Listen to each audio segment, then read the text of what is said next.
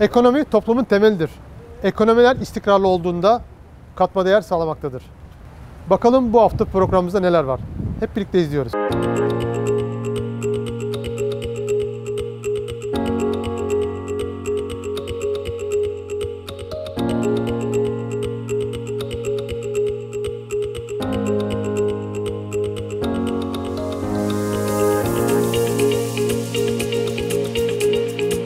Programımız gıda sektöründe çok güçlü bir firmayla devam ediyor. Peypa Gıda Yönetim Kurulu üyesi Burak Keskin.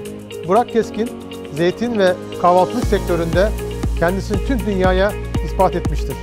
Yılların tecrübesiyle bakalım başarılarını bizlere nasıl anlatıyor. Hep birlikte izliyoruz. Burak Keskin ben. Ee, endüstri mühendisiyim. Ee, Yöre Grup Yönetim Kurulu üyesiyim. Ee, MÜSİAD çok e, önemli bir ticari kuruluş, e, bir iş adamları derneği. Her şeyden önce dünya genelindeki yapılanmasında her bir ülkede bir ofisinin olmasında e, biz Türk ihracatçısı olarak telefonla aradığımızda telefonun diğer ucunda başka bir ülkede başka birinin telefonu açacak olması Türk ihracatçısı için çok önemli.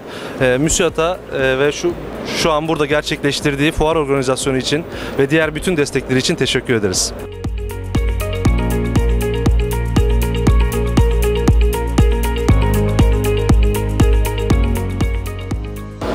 25 yıldır firma olarak biz zeytin sektöründe faaliyet gösteriyoruz. Biz aynı zamanda 105 şubeli bir perakende zincir sahibiyiz. Kahvaltılık ürünlerin satıldığı bir perakende zincir sahibiyiz. Ee, aynı zamanda da zeytin üreticisiyiz. Ürettiğimiz ürünleri kendi mağazalarımızda da sattığımız için müşterilerimizin tepkilerini birinci ağızdan direkt duyma şansına sahibiz. Bence diğer üreticilerden e, bizi ayıran en büyük özelliğimiz e, budur diye tahmin ediyorum.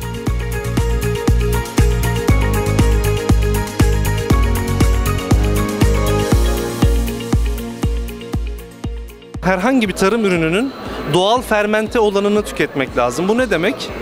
Ee, biz zeytini sadece taş baskı ve tuzla olgunlaştırıyoruz. Herhangi bir kimyasal, e, herhangi bir erken olgunlaşmasına sebep olacak kimyasal veyahut da farklı bir işlem uygulanmıyoruz. O yüzden e, tarım ürünlerinde e, doğal fermente ürünler tüketmeye, zeytinde de bilakis aynı şekilde e, tüketicilerimizin dikkat etmesi gerekir.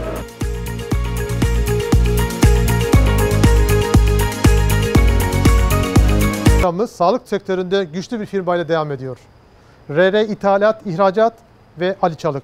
Ali Çalık, dezenfektan ve sağlık sektöründeki başarılarını bizlere anlatıyor. Hep birlikte izliyoruz.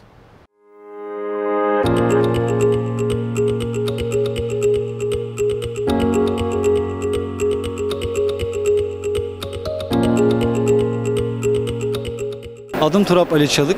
Sakarya Üniversitesi Çalışma Ekonomisi ve Endüstri İlişkiler bölümündeyim. Ee, firmamızda 3 senedir katkıda bulunmaya çalışıyorum öyle söyleyeyim.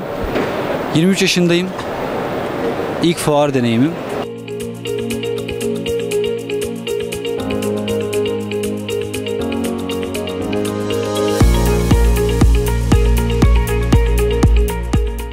Dört sene önce kozmetik sektörüne giriş yaptık. Pandemiyle beraber de losyon sektörüne giriş yaptık, sağlık sektörüne.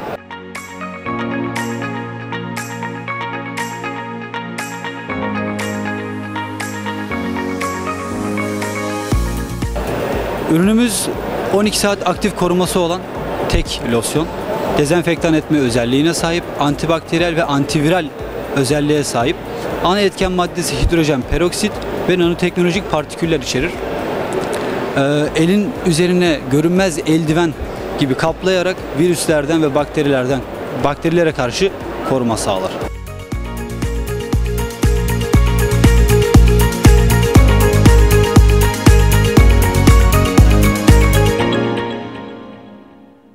Programımız çok farklı bir kişilikle devam ediyor.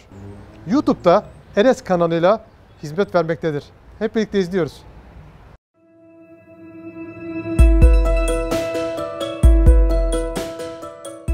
Ee, öncelikle sizi tanıyalım. Kendinizden bahseder misiniz? Tabii ki. Ben Burak Eres. 29 yaşındayım. Doğuma büyüme Almanya Berlinliyim.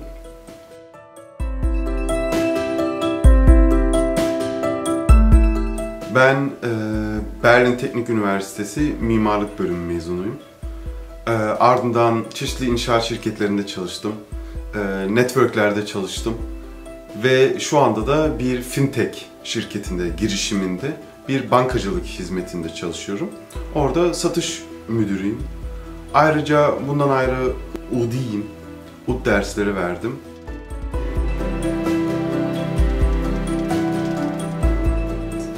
Bu e, YouTube kanalı e, fikri ne zaman doğdu? E, içerikleri nelerdir? Bunun hakkında ba- bahsedebilir misiniz? Tabii ki.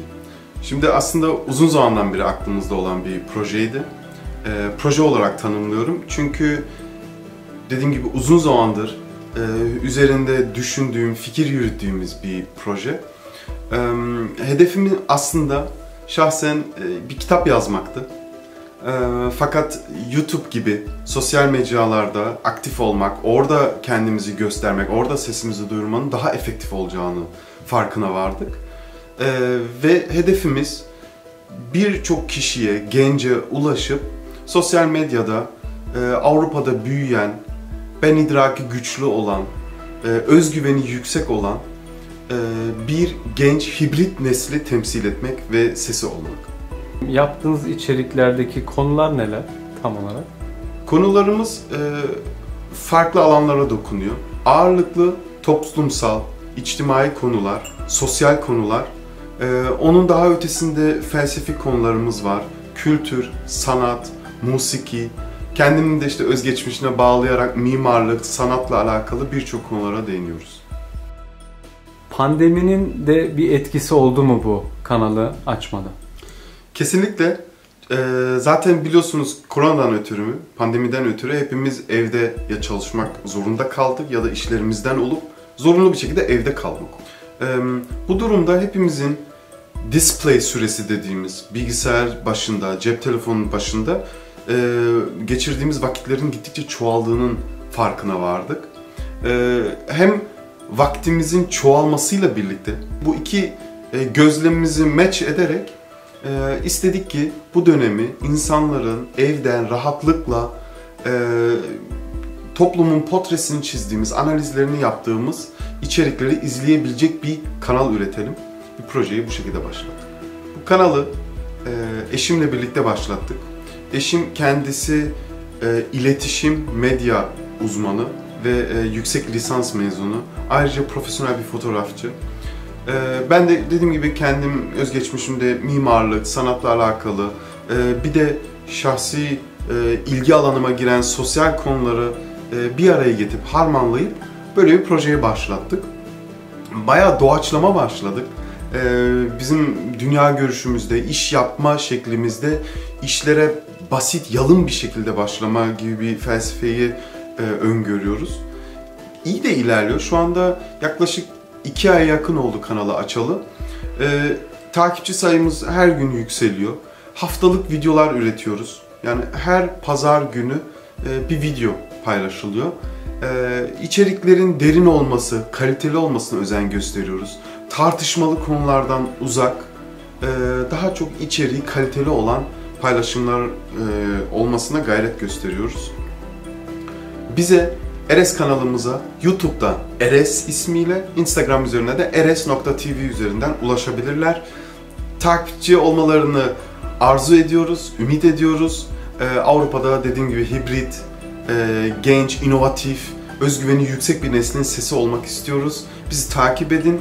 Ayrıca bizimle kooperasyona girmek isteyen varsa, ortaklığı arayanlar varsa, ortak bir yayın yapmak isteyenler varsa bu konularda da oldukça açığız. Ee, mesajlarınızı e, bekliyoruz. Haftaya farklı konu ve konuklarla buluşmak üzere. Hoşçakalın.